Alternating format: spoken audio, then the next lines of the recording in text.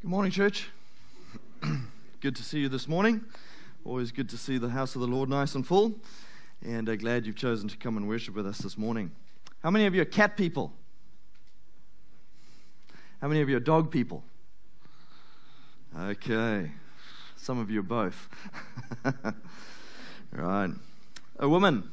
A story is told of a woman who rescued a puppy from a pound, from a. Uh, from you know our equivalent of the SPCA, I guess. And uh, this dog was on death row, and she adopted this puppy and uh, took it home with her. She formed a very strong bond with this dog of hers, this uh, puppy dog, and uh, the dog grew, and the dog knew the rules of the house, and the dog went with her wherever she went.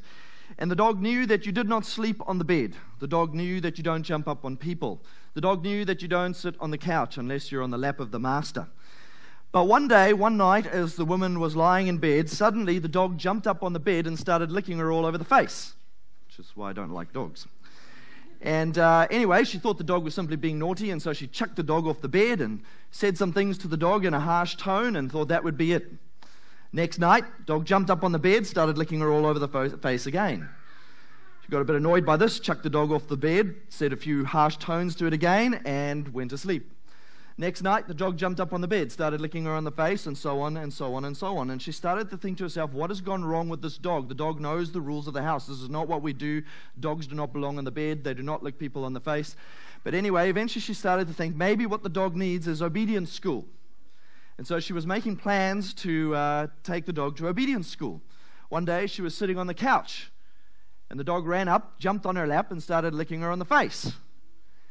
She was rather annoyed. Why and where did this dog get this habit from of jumping up and licking her in the face? And as she was still sitting there, rather grumpy, thinking about this, wondering what had gone wrong with her as the teacher, as the master, and the dog as the, as the obedient puppy, as she was thinking about obedience school, a thought came to her mind.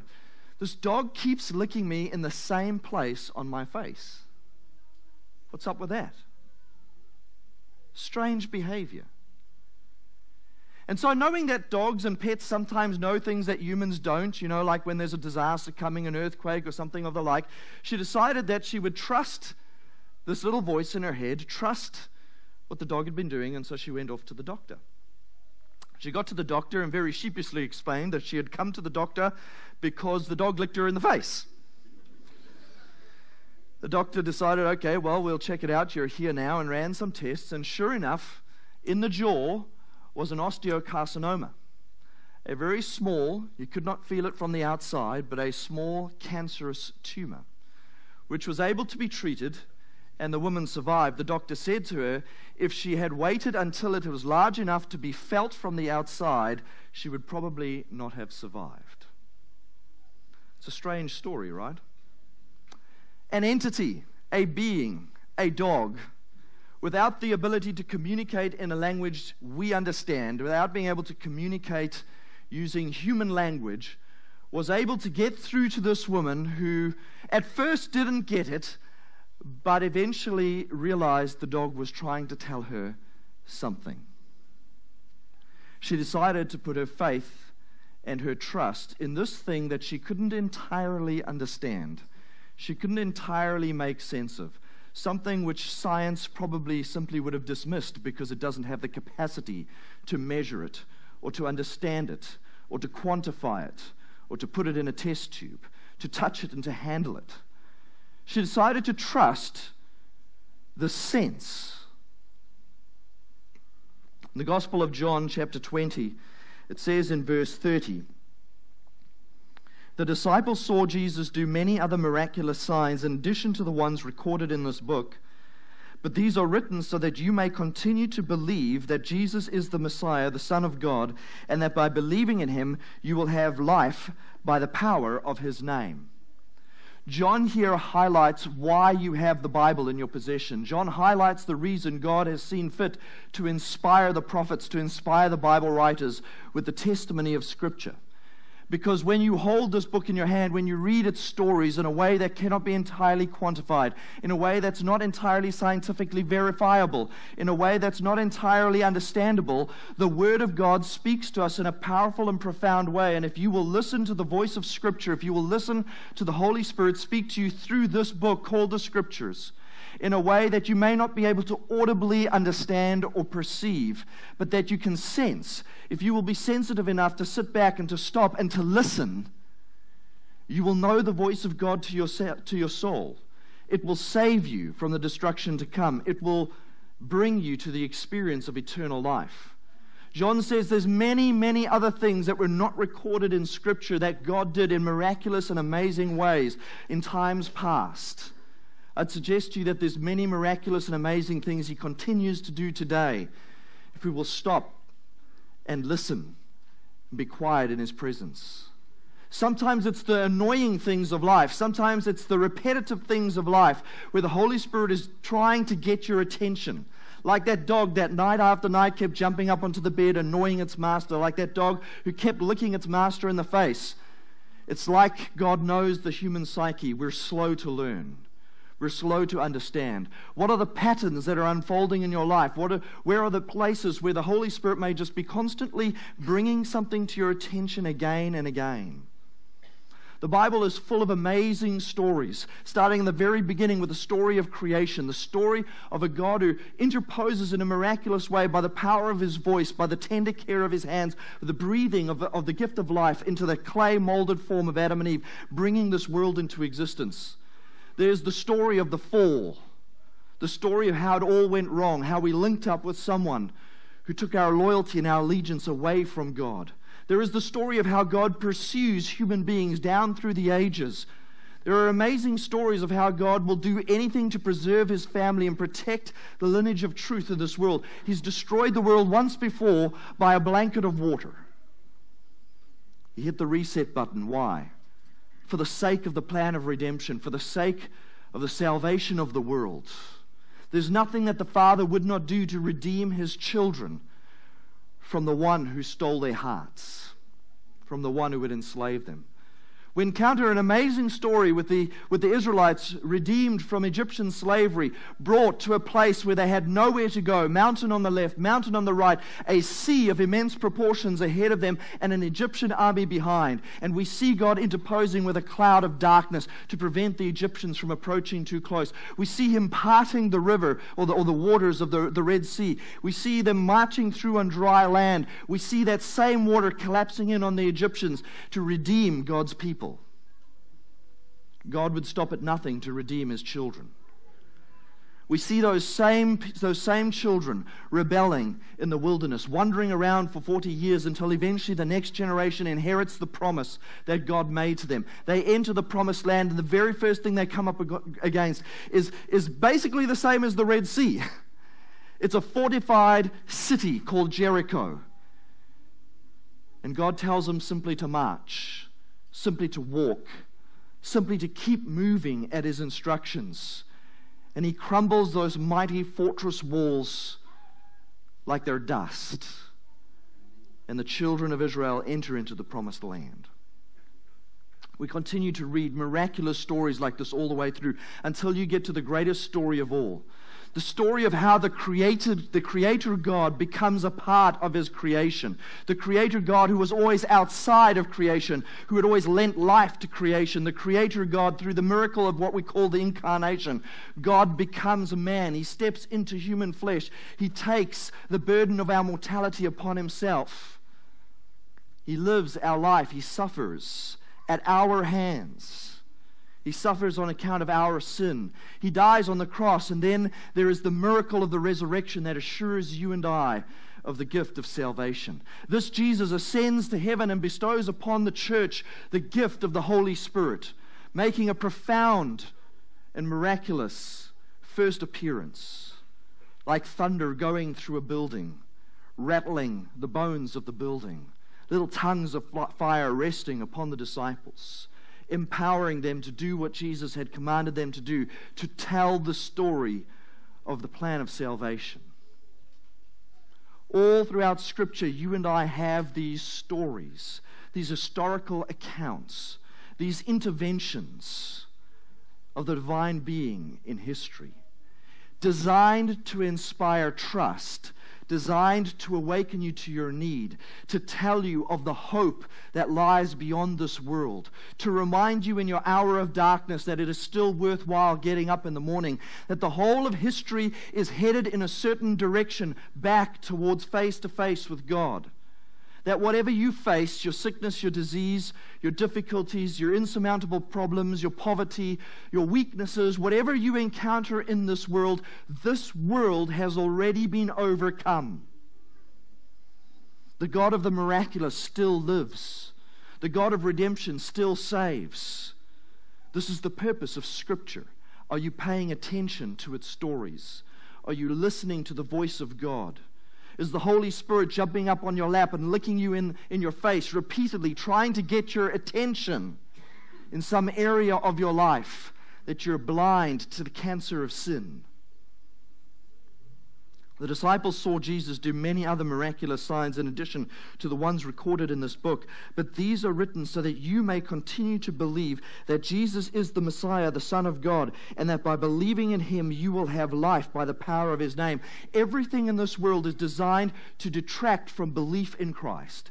Everything in this world is designed to attract your attention to the physical, to what you can see, to what you can touch, to what you can handle in this realm. Everything in this world is designed to tell you that there is no hope, that we are going nowhere. From the philosophy of our origins to the fact that there simply is no God by the, by the atheistic assumptions, that everything in this world is designed to do the opposite of getting you to believe in God. So let me tell you this bluntly. If you are not reading this book, if you are not paying attention to this, over time, you will come to not believe. This is the voice of God to your soul. I want you to turn with me to the book of Psalm, chapter 25. Psalm 25, and it reads like this This is the testimony of David. This is the voice of a man, a mortal like you and I, surrounded with much of the same distractions, with responsibilities bearing down upon him. And this is what he says in Psalm 25 O Lord, I give my life to you. I trust in you, my God. Do not let me be disgraced, or let my enemies rejoice in my defeat. No one who trusts in you will ever be disgraced, but disgrace comes to those who try to deceive others. Show me the right path, O Lord. Point me, point out the road for me to follow. Lead me by your truth and teach me, for you are the God who saves me. All day long, I put my hope in you. Pause there for a moment. I want you to hear this in the voice of the psalmist. I want you to hear a man caught up in prayer. Uh, because that's what this is, right? This is a written down prayer. This is his prayer journal. That's what the book of Psalms is. It's songs and prayers written by a man in communion with God. I want you to see yourself standing in the corner of his room as he pours out his soul to the Lord. I want you to see this mighty man, a king on the throne. I want you to see this man surrounded by all the might of the world, and yet this man who realizes that none of it matters if his hope is not in the Lord. I want you to hear a man expressing a prayer of humility and of trust and of faith in God. A man who recognizes that at the pinnacle of success, everything that is accomplished is by the grace of God. I want you to hear a man who recognizes that even at the pinnacle of success, he is a mere mortal and subject to death. That in a moment, everything he has loved in this world can be taken from him. That in a moment, everything he rejoices in this world can be gone. I want you to hear a man whose priorities is to look to the Lord, to put his trust and his faith in this God. You see, according to John, this is written that you might believe. This is written that you might learn to have communion with God like David did. This is written so that you might learn to pray in the spirit that the psalmist prayed in. That you might learn to have that kind of intimacy and connection with a God who is as real as the person sitting next to you, though you do not see that God with your eyes. So listen for this as you hear this man praying. Remember, verse 6 Remember, O Lord, your compassion and unfailing love, which you have shown from long ages past. Do not remember the rebellious sins of my youth. Remember me in the light. Pray. He leads the humble in doing right, teaching them his way. The Lord leads with unfailing love and faithfulness, and all who keep his covenant and obey his demands. For the honor of your name, O Lord, forgive my many, many sins. Who are those who fear the Lord? He will show them the path they should choose. They will live in prosperity, and their children will, children will inherit the land. The Lord is a friend to those who fear him. He teaches them his covenant. My eyes are always on the Lord, for he rescues me from the traps of my enemies.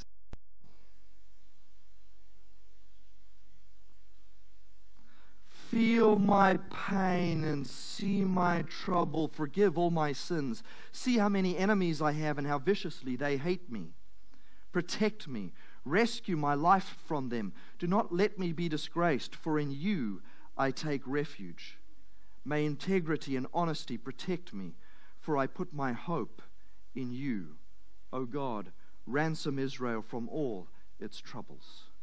That, friends, is the prayer of trust. It is the prayer of faith. It is the prayer of surrender. It is the prayer of finding strength in the only place of lasting strength, of emptying the soul of its pride, of relinquishing the appearances of the world, and committing to the things that you cannot see with your eyes. According to John, this was written that you might believe.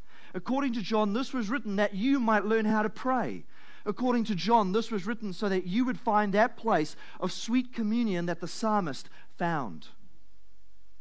The whole of Scripture is written that you might have the voice of God to speak to you. How often do you stop and listen? How often do you pause to be refreshed? Or do you race on through the days of life? Similar to this, if you turn to the book of Jeremiah, chapter 17. Jeremiah 17, and the prophet says the following This is the blessing of trusting in the Lord, contrasted with trusting in oneself. Jeremiah 17, from verse 5. This is what the Lord says Cursed are those who put their trust in mere humans, who rely on human strength and turn their hearts away from the Lord. They are like stunted shrubs in the desert, with no hope for the future. They will live in the barren wilderness and in an uninhabited, salty land. But blessed are those who trust in the Lord and have made the Lord their hope and confidence. They are like trees planted along a river bank with roots that reach deep into the water. Such trees are not bothered by the heat or worried about long months of drought. Their leaves stay green and they never stop producing fruit. The human heart is deceitful above all things and desperately wicked. Who really knows how bad it is? But I, the Lord, search all hearts and examine secret motives. I give all people their due rewards according to what their actions deserve. You see, that's why you need the voice of the Lord to speak to you.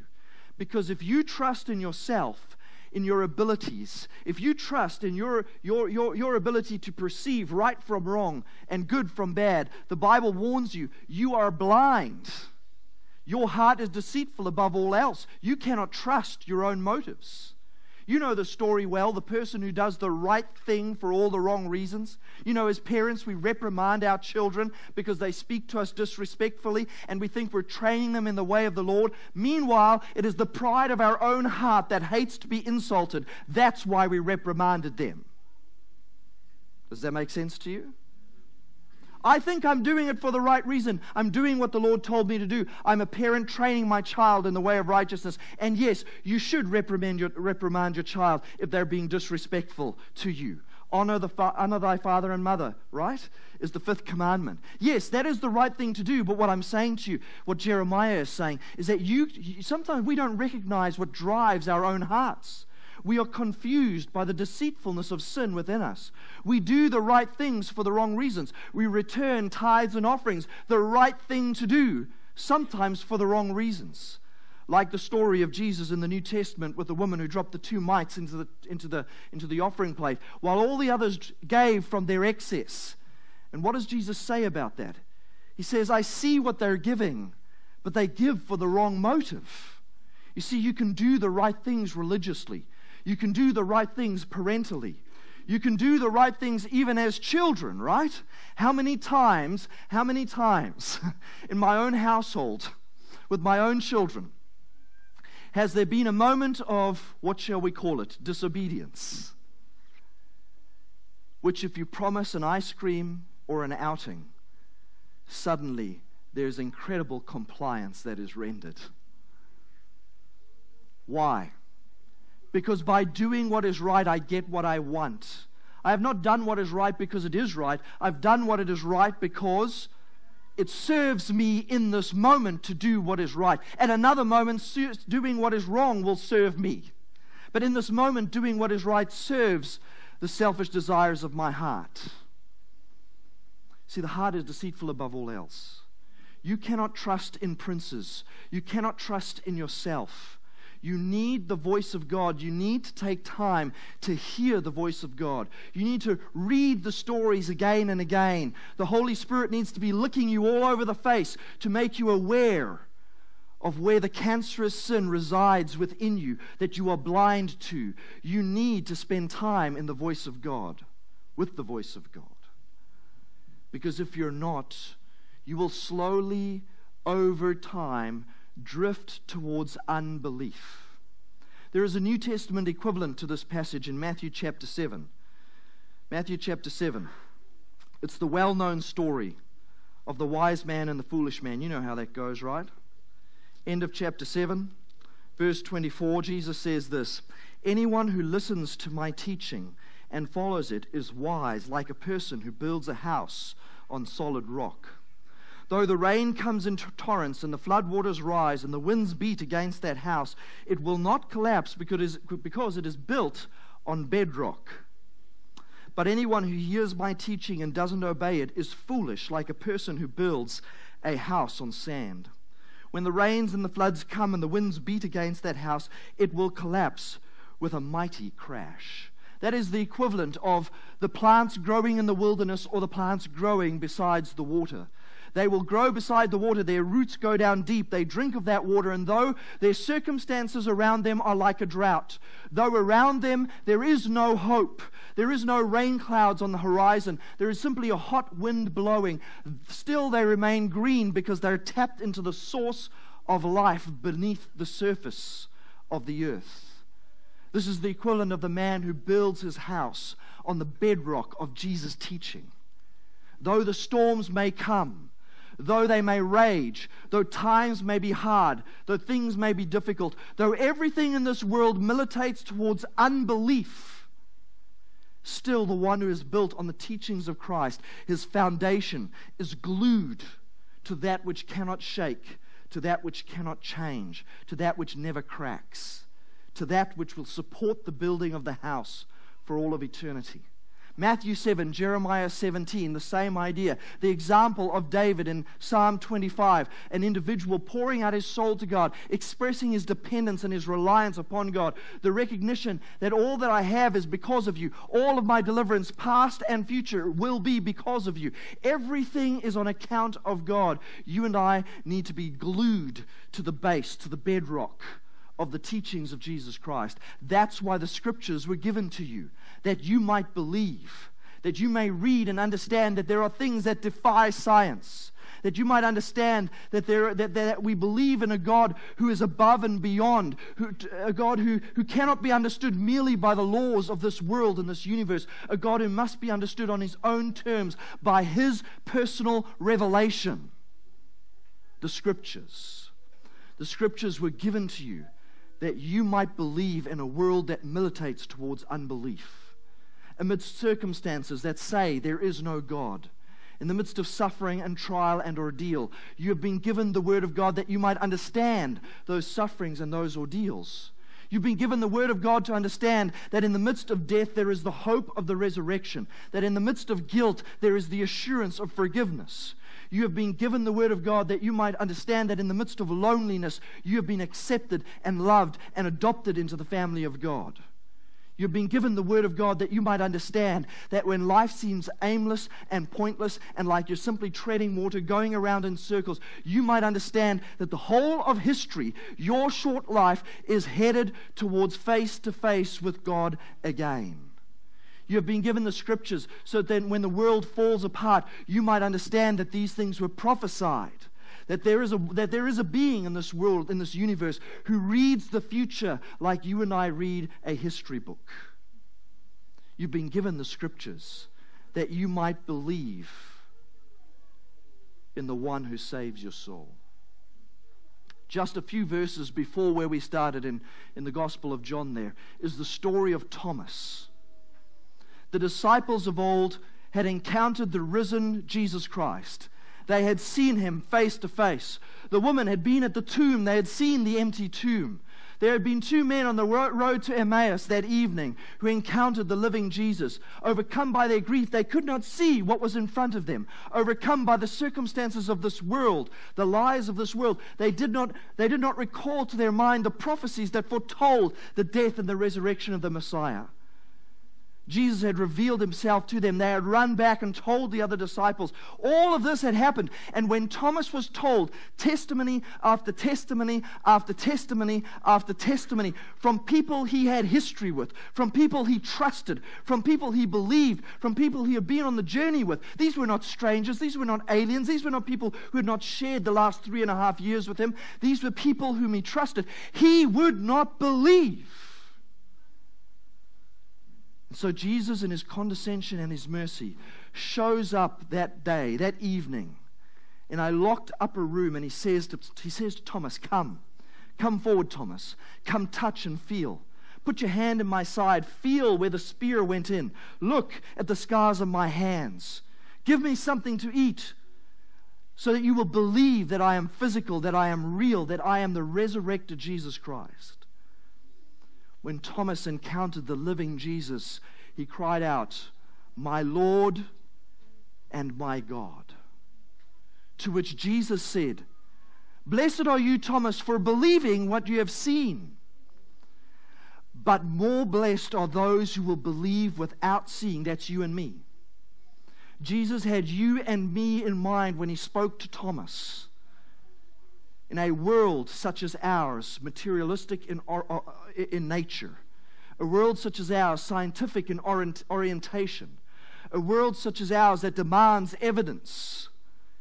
It's like God was looking, Jesus was looking down through the ages, standing in front of Thomas and going, but blessed are they who, despite the age that they live in, despite the evidences that are demand, will choose to believe without seeing because of the testimony of those who have spoken before them because of the testimony of Thomas, because of the testimony of Peter, because of the testimony of Mary, because of the testimony of Moses, because of the testimony of Elijah. Blessed are those who will believe despite the age that demands physical evidence. Blessed are they who will believe because they have heard the voice of God through the scriptures speaking to them, because they have gained an experience like David in the audience of in the audience chamber with the Lord, where they've gained an experience of a personal heartfelt surrender to the Lord. Blessed are those who will believe without seeing. You see, you and I have been given this treasure. And I want to ask you a personal question. When last did you have an experience in the Word? When last did you stop long enough to hear what the Holy Spirit would say to you? To be annoyed by his licking you all over your sinful propensities, awakening you to your need of the Savior, the need of confession. When last did you spend time listening to the voice of the Lord? There was a man on a plane headed home to be with his family. And as the story goes, it was time for the drinks to be served, as they do on a plane, right? But just at about that time, the little seatbelt light came on, And a voice from the cockpit said, Unfortunately, we will not be able to serve drinks at this time because we're headed into a little bit of turbulence. And so everyone buckled up their seatbelts and got ready for a little bit of turbulence, right?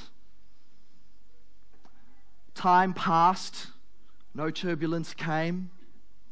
Eventually, the voice came over the intercom again saying, We're about to arrive at the turbulence. We won't be able to serve the meal at this time because of the turbulence. Still, everyone remained buckled in and patiently awaiting the turbulence. Some more time passed, nothing happened. And then they saw the flashes of lightning out the windows. They saw the dark clouds, and the plane began to rattle.